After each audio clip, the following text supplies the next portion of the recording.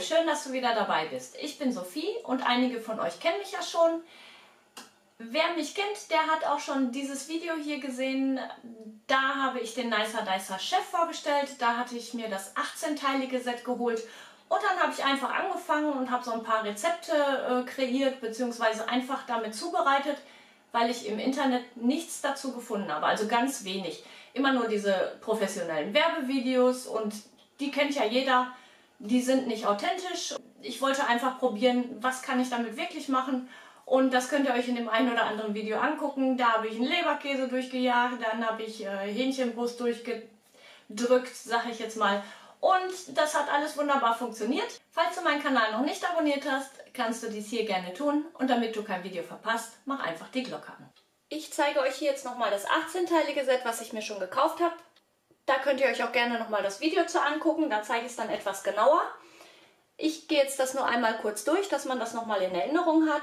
Da ist natürlich einmal das Schneidgerät mit dem 3300 Milliliter Behälter mit Deckel, die Glasschüssel mit Deckel und auch mit einem Gummiuntersatz. Dann hier einmal den Messereinsatz mit 12x12 mm. Hier der mit 24x24, die grobe Reibe mit Schutz, ein Julienne-Schneider, dann neu in diesem Set war, das kannte ich vorher auch noch nicht, das ist ein Tomaten-Gemüseschneider für breite Scheiben. Den habe ich auch schon ausprobiert, könnt ihr euch gerne anschauen. Dann haben wir hier einen Feinhobel dabei gehabt. Der sieht dann so aus. Der ist wirklich für ganz feine Scheiben. Und natürlich auch so ein Halter, damit man sich nicht verletzen kann. Das ist jetzt ganz im Schnellen einmal dieses Set. Wer das mal ein bisschen genauer angucken möchte, kann das gerne in einem anderen Video tun. Aber heute wollen wir jetzt ja das Set ergänzen zu dem großen 34-teiligen Set. Zu dem großen Set gehört dann nochmal ein weiterer Auffangbehälter mit 3300 ml, genau wie die andere Schüssel. Und zwei kleinere Auffangbehälter mit 700 ml, alle jeweils mit dem Deckel. Ich mache den jetzt mal auf. So kommt das dann bei einem an.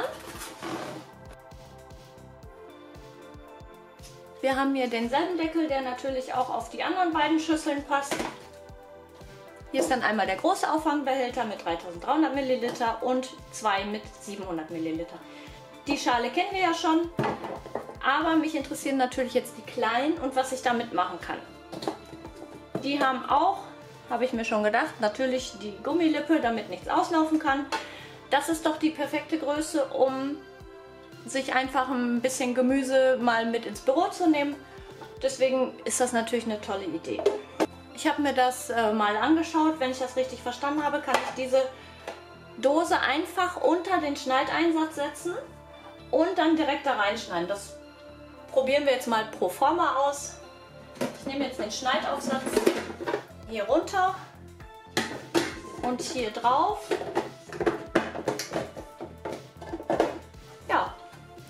Und ihr seht schon, der passt perfekt da rein.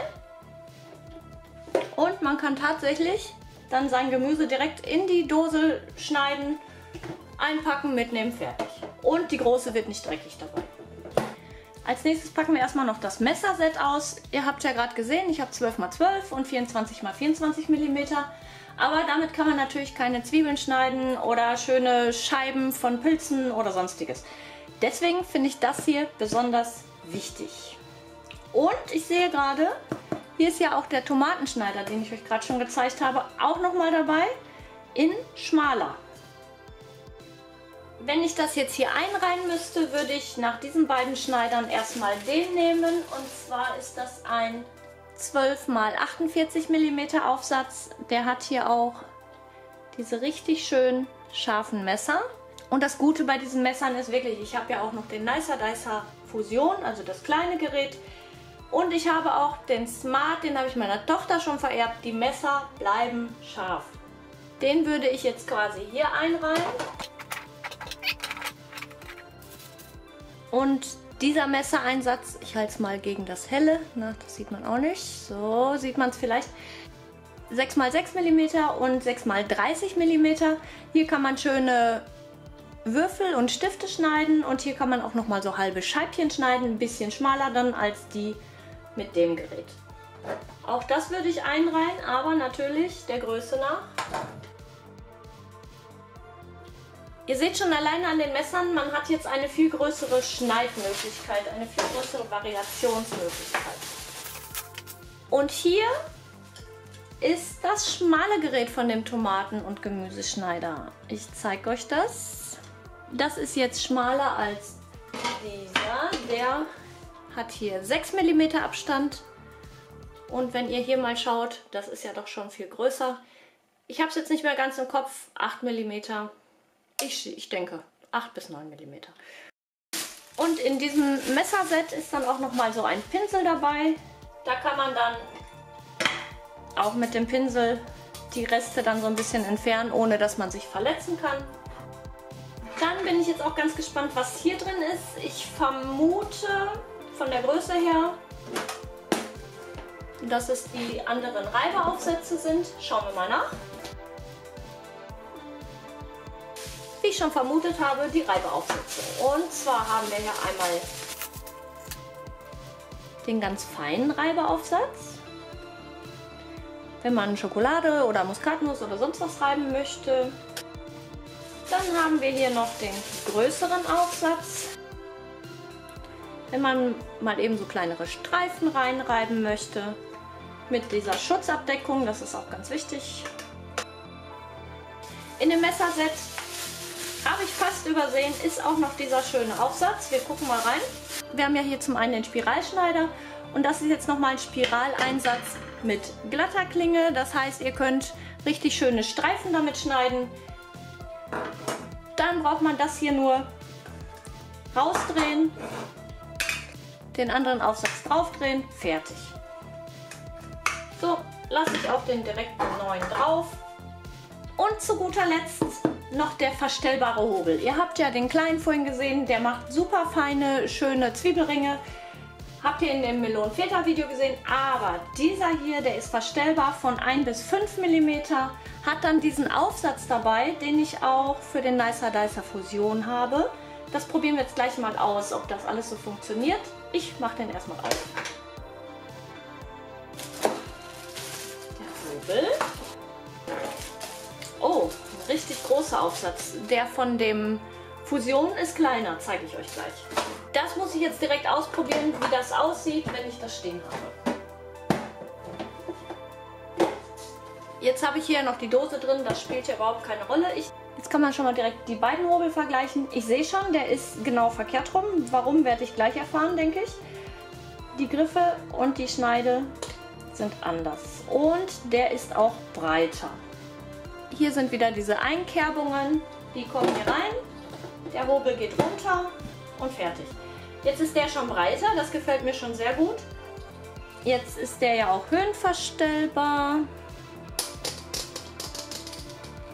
Ich mache ihn runter, kann die Schutzkappe abmachen. ja. Hier seht ihr, das ist die höchste Einstellung mit 5 mm und ich kann jetzt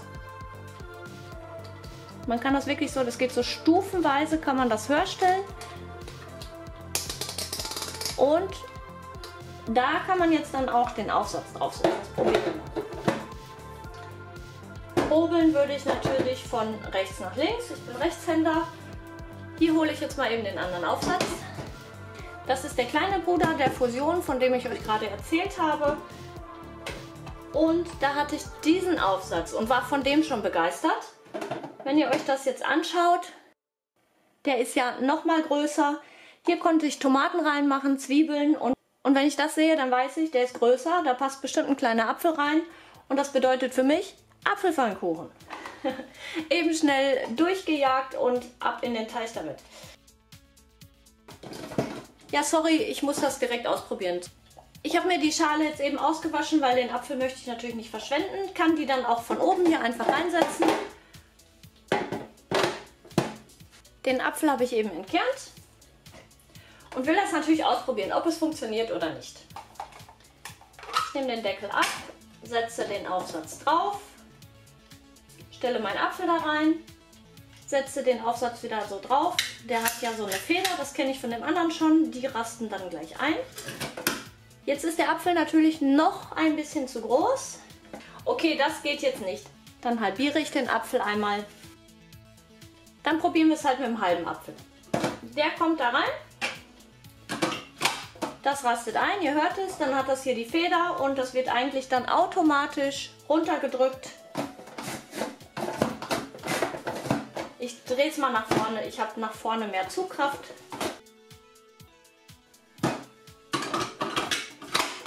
Ich wollte jetzt hier eigentlich auch noch gar nicht schneiden, aber das Gerät kenne ich jetzt noch nicht und das muss ich dann direkt ausprobieren.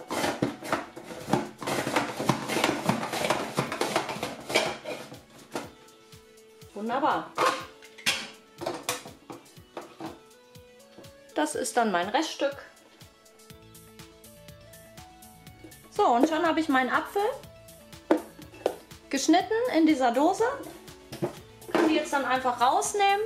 Hätte mir jetzt noch eine Birne zuschneiden können, äh, eine Kiwi mit da reinschneiden können. Dann könnte ich mir einen Becher jetzt mit Obst machen. Den anderen könnte ich mir einfach machen mit Gemüse. Nehme das beides mit zur Arbeit, gerade im Büro nebenbei zu knabbern, ist das immer ganz gut. Ihr merkt schon, ich bin begeistert. Jetzt denkt ihr bestimmt, man braucht eine Riesenmenge Platz dafür.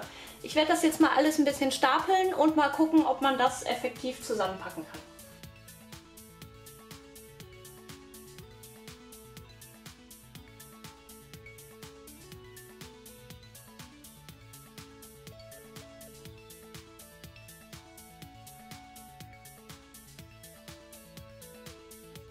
Das sieht jetzt ja schon mal nicht mehr so wild aus. Hier habe ich jetzt die ganzen Messereinsätze mit den Reiben drin.